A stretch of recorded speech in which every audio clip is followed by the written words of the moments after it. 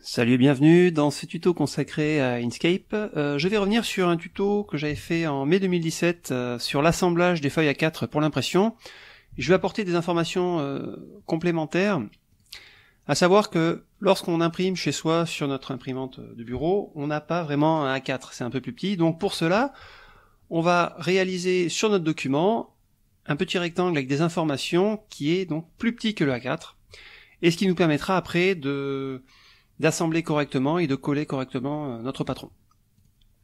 Alors je vais faire apparaître la fenêtre des calques, ici, voilà, là, donc il y aura le patron en bas de la vidéo, un fichier euh, format SVG à télécharger, et je vais supprimer ici mon calque découpe, voilà, on, repartira donc sur de bonnes bases là-dessus, et on va tout de suite créer donc ce fameux calque découpe, voilà, sur lequel je vais donc faire une première page, un premier A4. Donc pour cela, je clique sur l'outil créer des rectangles et des carrés. On n'oublie pas de verrouiller le calque patron et de bien se mettre sur le calque découpe. Je vais tout de suite passer en mode d'affichage contour. Euh, on n'oublie pas d'activer ici le magnétisme et de choisir l'option aimanté au bord de la page. L'avantage, euh, voilà, d'aimanter au bord de la page, c'est que si je me mets ici, ben, j'ai une information comme quoi, comme quoi je suis bien au coin supérieur gauche de ma page. Je clique, je glisse, et voilà, là j'ai une information comme quoi ben, mon document est bien à 4 d'ailleurs. Lorsque je sélectionne l'outil flèche noire, on voit que j'ai un document qui fait bien 21, euh, 210 pardon, par 297 mm. Donc ceci étant fait, je peux repasser en mode d'affichage normal. Alors on voit que pour passer d'un mode d'affichage à l'autre, le raccourci c'est CTRL 5. Effectivement, si j'appuie sur CTRL 5, là je passe en mode d'affichage normal. CTRL 5, mode d'affichage sans filtre. Et là je reviens sur le mode contour. Voilà. Euh, là j'ai mon rectangle. Je vais tout de suite lui mettre un petit contour noir. Donc pour cela j'appuie sur Shift et sur la petite couleur noire là. Automatiquement on voit que il y a un un petit liseré noir qui, qui est apparu, avec une épaisseur de 1 mm. Alors pour changer, on peut faire un petit clic droit là-dessus et choisir 2 par exemple. Et là, j'ai mis une opacité à 25%, c'est pas mal. C'est un peu plus, un peu plus, un peu plus clair, pardon. Euh, je vais dupliquer cet objet, mais avant, je vais le convertir en chemin. Donc pour convertir l'objet en chemin, je clique sur l'outil d'éditer les nœuds et je clique là-dessus.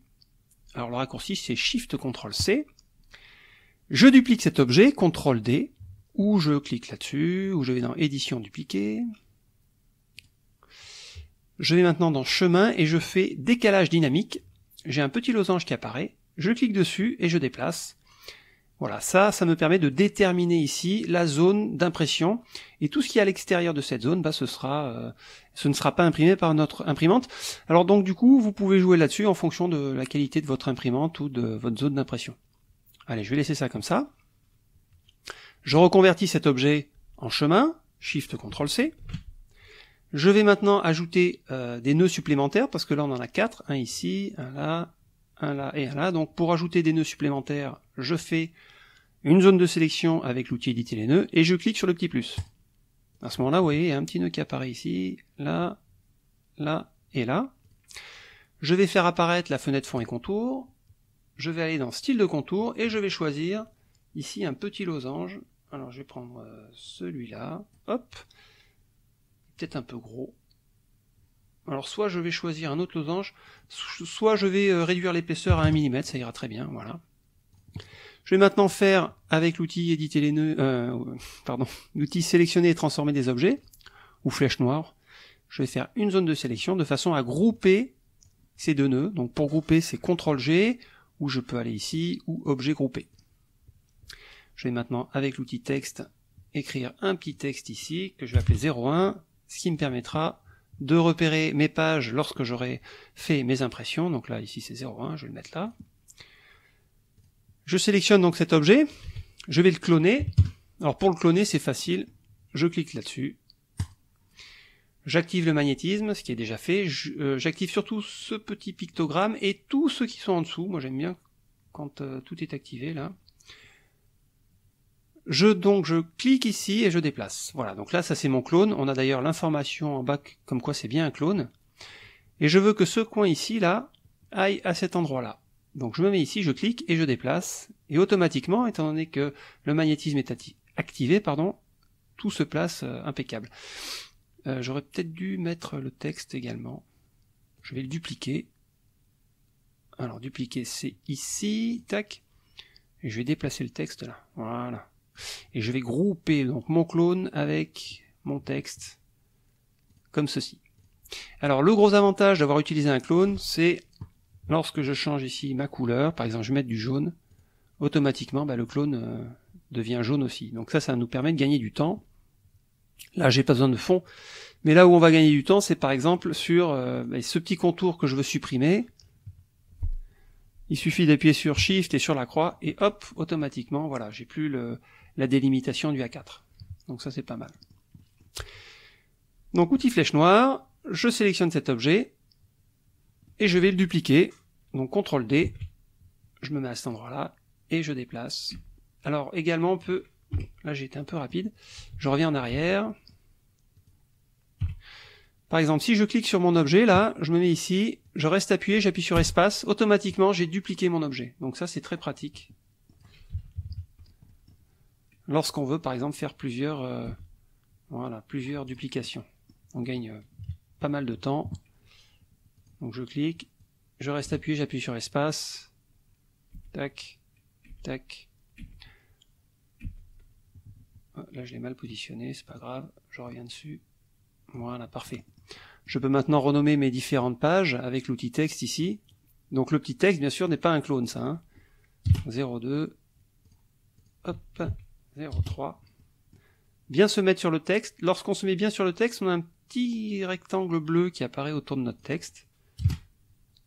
04, 05. Euh, je vais m'arrêter à 0,5, vous avez compris le principe. Je vais faire maintenant apparaître la fenêtre XML, éditeur XML. L'avantage d'utiliser l'éditeur XML, c'est que je sélectionne mon objet. Alors je vais le grouper d'abord. Là, il y a un petit souci ici. Hop, je vais bien placer ça. Voilà. Je vais grouper ces deux objets, c'est-à-dire mon objet ici et mon texte. Donc l'éditeur XML, il faut savoir que dans Inkscape, chaque objet a un, identifiant, et on va renommer l'identifiant, par exemple celui-là en 01, en fonction de notre page, et on clique sur définir, ou alors on peut appuyer sur CTRL Entrée pour valider le nouvel identifiant. Donc là 02, hop, 03, 04, pardon, et 0,5. Voilà. On va maintenant exporter euh, nos objets au format PNG, puis après on exportera euh, chaque page en PDF. Donc je clique là-dessus, fichier, exporter, alors le raccourci on a vu, hein, Shift CTRL E, c'est la sélection, on est bien à 150 euh, points par pouce, on peut augmenter à 300 si on souhaite mais je trouve que 150 pour une, une imprimante maison, ça suffit. On va exporter donc dans notre dossier patron, donc 01, enregistrer, voilà, et je fais exporter. Alors on remplace, parce que moi j'avais déjà enregistré précédemment. Et on va faire la même chose pour la page 02. Alors l'avantage d'avoir nommé chaque groupe euh, permet à Inkscape de, automatiquement les identifier. Donc là, c'est l'objet 02. Il me propose, en principe, de l'enregistrer dans le dossier patron. Exporter. 03, c'est pareil. Hop. 04 et 05. Alors pour information, je vais réouvrir l'éditeur XML et on va regarder ce que Inkscape a généré comme information supplémentaire. Par exemple, euh, pour la page ici 02, il a gardé le chemin en mémoire, donc ça c'est très pratique, et également la résolution. Également pour la page 3, la page 4 et la page 5. Et si on souhaite avoir une résolution supérieure, il suffit juste de venir ici changer, on met 300 et 300 pour chacun des éléments. Euh, l'avantage aussi d'avoir généré notre euh, document une fois, après on peut aller dans Fichier exporter et régénérer l'export par lot. Alors, hop, je retourne sur mon bureau, je vais dans mon fichier patron, là, tac, je supprime. Et si je fais exporter les cinq objets par lot, en principe, il devrait les avoir mis dans le bon dossier. Voilà, vous voyez, il a régénéré tous les documents comme il faut. On vérifie tout ça, nickel. Euh, là, on voit qu'on a la transparence. Donc, si on veut qu'il n'y ait pas de transparence euh, dans notre document PDF, il suffit juste d'aller ici dans les paramètres du document. Donc là, effectivement, il y a la transparence. Ben, nous, si on ne la veut pas, on clique là-dessus. On augmente l'opacité, enfin l'alpha à 255. On va régénérer les PNG. Voilà, exporter. On revérifie tout ça ici. Je double-clique et effectivement c'est impeccable. Là on a les petites informations pour venir coller euh, nos différentes pages. On va voir comment maintenant générer les PDF. Alors les PDF c'est un peu plus long. Donc là notre document est là, fichier enregistré sous. On va l'appeler page 01. Page 01, on enregistre sur le bureau, enregistrer, exporter, ok. Pour la page 02, il suffit de cliquer là-dessus, ça ouvre les propriétés du document, et on peut redimensionner au contenu.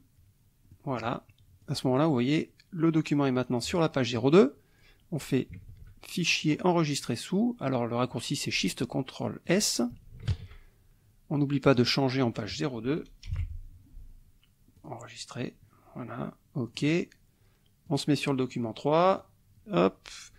Shift CTRL S. Page 03. Ok. Je vais aller jusqu'à la page 05.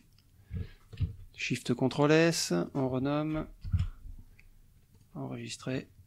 Ok. Et la dernière page. Ajuster. Shift CTRL S. Page 05. On enregistre. Voilà, il nous reste plus maintenant qu'à imprimer nos documents et à les coller en respectant donc euh, les petites informations ici. Je vous remercie d'avoir suivi ce petit tuto, j'espère qu'il vous sera utile. N'hésitez pas à poser des questions et je vous dis à bientôt pour de nouveaux tutos.